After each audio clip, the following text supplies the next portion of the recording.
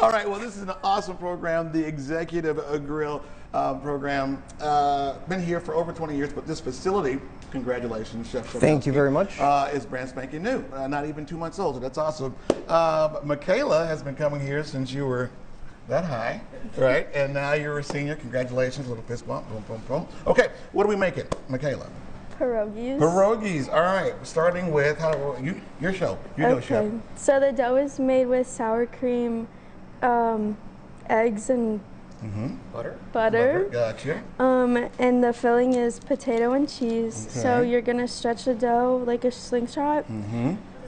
and pull it over and pinch it together. Little pinches. Yeah.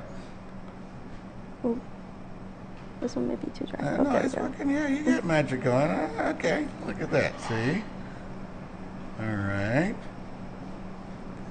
And then Voila. you flatten it, and then they're gonna get boiled. So we're gonna And boil you and the chef made these the other day, right? Mm-hmm. Okay, so that you talk about boiling, we're going to come over here. I'm going to scoot that to Yeah. Lamont. Okay, and go ahead. So these are gonna boil for five minutes. Mm-hmm. And then while those are boiling, behind that, Yeah.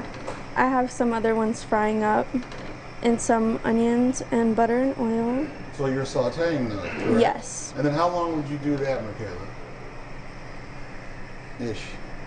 Three to five minutes, or we say until um, the preferred color crispiness that the um, chef desires. Some Okay. people really like some even deep fry them. All right. Um, but so most kind of chef's preference. Chef's preference on yeah, how three dark. to five or how it looks, right, Michaela? All right. You could actually eat them just out of the boiling water. Yeah. Just throw them with butter and onions if you so it depends to. on your audience. You know, It if you know your yes. family likes them a certain way, you make them that way. If your family, what way do you like them, Michaela?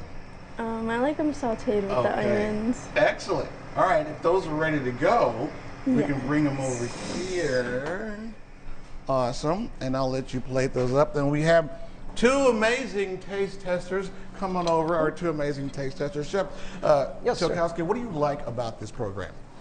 that we get to interact with kids that really find um, a love and passion for the program because when I was her age or younger, I didn't have a program like this. Yeah. So to be able to do this now is amazing for me. If you were lucky, your mother or grandmother or father taught you. Exactly.